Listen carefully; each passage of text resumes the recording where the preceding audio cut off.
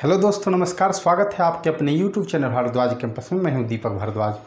मैं आज आप लोगों को बहुत ही मोटिवेशनल और मैथमेटिक्स के प्रति छात्रों की रुझान क्यों कम है, इसके बारे में आज जानकारी दूँगा।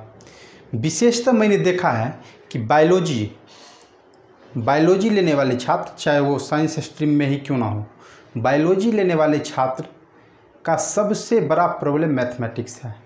वो प्रॉब्लम इसलिए है क्योंकि टेंथ तक तो वो मैथमेटिक्स पढ़े थे। किंतु होता क्या है, जो ही वो बच्चे अलेवेंथ में इंट्री मारते हैं, उनके मन में लगने लगता है कि मेरा तो सब्जेक्ट बायोलॉजी है। और उन्हें शायद इस बात का ख्याल नहीं रहता है कि मुझे फिजिक्स भी पढ़ना है। और जब आप नीट की भी तैयारी करेंगे तो उन्हें भी मैथमेटिक्स का बगैर नॉलेज आप आगे नहीं कुछ कर सकते हैं। इसलिए क्योंकि आपको बिना मैथमेटिक्स का कोई ऑप्शन ही नहीं है। क्योंकि जब आप फिजिक्स में पढ़ेंगे, फिजिक्स के पार्ट को जो ही स्टार्ट करेंगे वेक्टर वेक्टर एलेवेंथ में स्टार्ट ही होता है और वो भी मैथमेटिकल पार्ट ही है। उसमें ट्रिग्नोमेट्री का पार्ट आएगा ही, उसमें अलजेब्रा का पार्ट आएगा ही। हाँ ये ज़रूर है कि थोड़ा बहुत मैथमेटिक्स से कम आता है, लेकिन वो आपको पढ़ना ही है। दूसरी नंबर बात, कि जब बच्चे ट्वेल्थ पास करते हैं तो देखते हैं कि उनका किस तरफ़ मोमेंट है। अधिकांश बच्चे एसएससी बैंकिंग की तैयारी में घुस जाते हैं। बाद में घुसने के बाद उन्हें पता चलता है कि मेरा मैथमेटिक्स से ही सबसे वीक है। बेटे, उसका वीक होने का सबसे मेन पॉइंट ये है कि आपने मैथमेटिक्स के प्रति अपनी रुचि को नहीं बढ़ाया है। जब आप मैथमेटिक्स के प्रति अपनी रुचि को बढ़ाएँगे तो आपका कॉन्सेप्ट क्लियर हो जाएगा। और जो ही कॉन्सेप्ट क्लियर होगा, आपको मैथमेटिक्स समझ में आने लगेगा।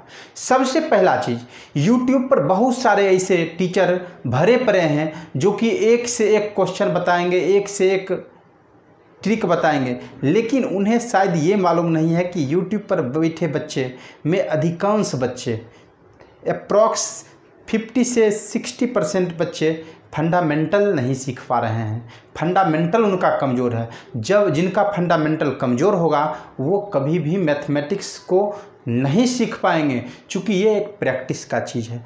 और सबसे पहला चीज़, आप अलजेब्रा के ही टॉपिक को लेंगे तो सबसे पहला चीज़ हमको बेसिक से चलना होगा। जब तक आप बेसिक से नहीं पढ़ेंगे, तब तक आपको समझ में नहीं आएगा।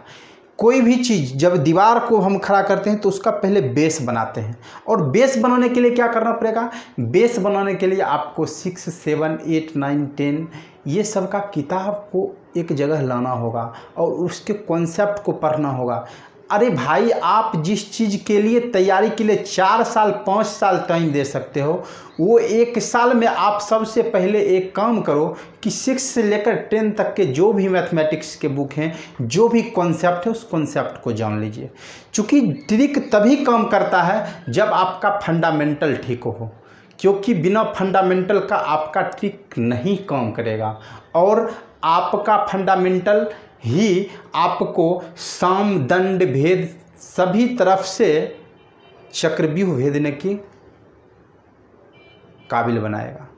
जब आपके पास साम दंड भेद सारे गुण को नहीं जानेंगे तो आप चक्रव्यूह को नहीं भेज सकते हैं। और इसके लिए आपको मैथमेटिक्स का फंडामेंटल पढ़ना होगा। और मैंने भी वीडियो जब स्टार्ट किया था, मैं भी कोशिश कर रहा था कि बहुत बड़े बड़े क्वेश्चन, बहुत अच्छे अच्छे एसएससी सीजीएल सीएचएसएल बैंकिंग वगैरह का क्वेश्चन मैं सोच रहा था कि मैं बताऊँगा।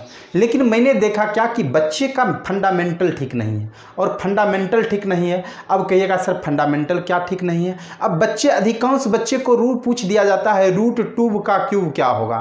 तो बच्चे इस रूट को देखने के बाद उनके दिमाग में टेंशन होने लगता है कि ये आखिरकार ये रूट टू तो समझ रहे हैं। लेकिन इसका क्यूब है। तो उनको ये चीज़ समझने में बहुत समय लग जाता है कि इसका वैल्यू टू रूट टू होगा।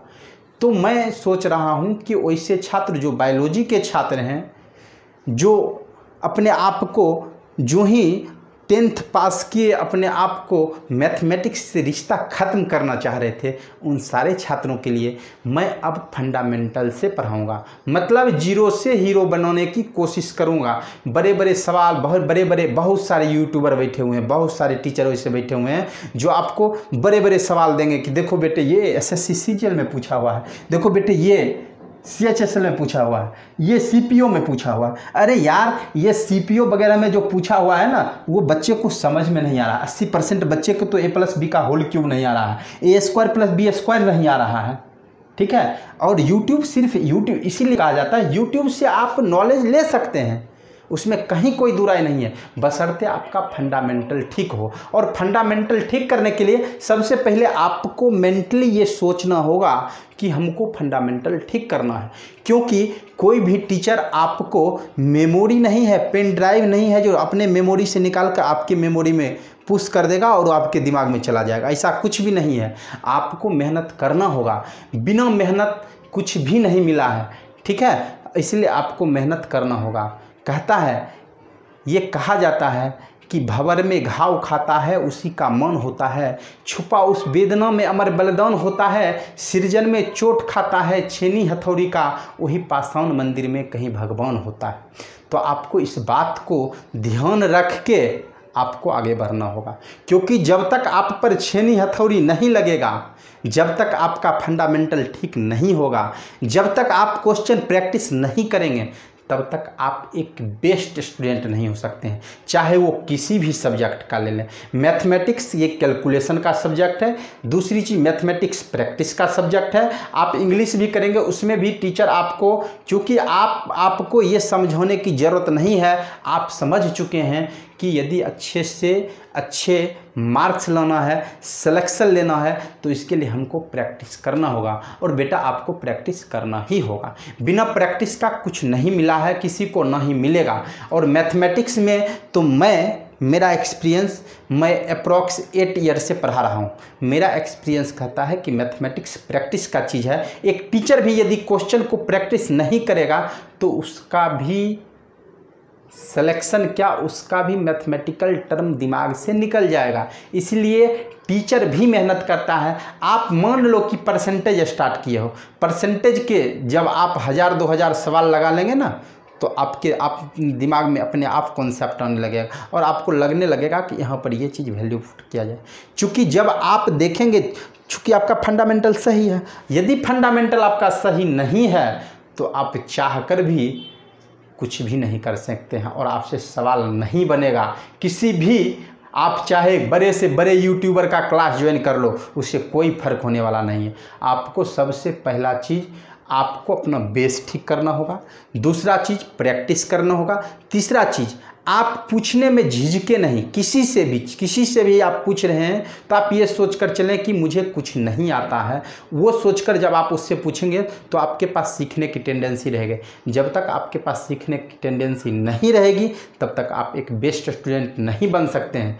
क्योंकि क्वेश्चन पूछ कर आप पाँच मिनट के लिए बेज्जती हो सकते हैं, लेकिन नहीं पूछ आपका सिलेक्शन ही बेज्जती करवा देगा सिलेक्शन नहीं हो पाएगा। तो दोस्तों आपको यदि मेरा यह वीडियो अच्छा लगा तो आप अपने काम पे ध्यान दीजिए और मैं अब जो भी क्लास लूँगा फंडामेंटल से क्लास लूँगा, चूँकि बड़े बड़े यूट्यूबर ये यूट्यूब पर भरे पड़े हैं, जो कि बड़े बड़े क्वेश्चन को बताते हैं। इसलिए मैं सबसे पहला बेसिक आपका ठीक करने का कोशिश करूँगा, और वो छात्र जो बायोलॉजी लेकर पढ़ रहे हैं, या कॉमर्स लेकर पढ़े हैं, या मतलब वो ये सोच कर चलें कि मैथमेटिक्स से दूर दूर तक रिश्ता नहीं बनाना है, और वो जनरल कॉम्पिटिशन की तैयारी में घुसे हैं तो उनको मैथ ठीक करना होगा, बिना मैथ का कुछ भी नहीं होने वाला है। तो चलिए दोस्तों, आप मेरे इस वीडियो के साथ बने रहें और आप चैनल को सब्सक्राइब कर लें। तो नोटिफिकेशन आपको मिलता रहेगा। वेल आइकन का बटन दबा दें और मैं अब कोशिश करूँगा कि बड़े बड़े सवाल नहीं छोटे छोटे सवाल जो उसका फंडामेंटल ठीक कर देंगे और जब फंडामेंटल आपका ठीक हो जाएगा बेस ठीक हो जाएगा तो आप अपने आप दौड़ने लगोगे। तो कोशिश मेरा रहेगा कि अब आपका फंडामेंटल ठीक किया जाए। चलिए, इसी बात के बाद आपके साथ मैं जुड़ रहा हूँ और आप मेरे साथ जुड़िए। ताकि आपका भविष्य उज्जवल हो और मेरी शुभकामनाएँ आपके साथ हैं। चलिए धन्यवाद।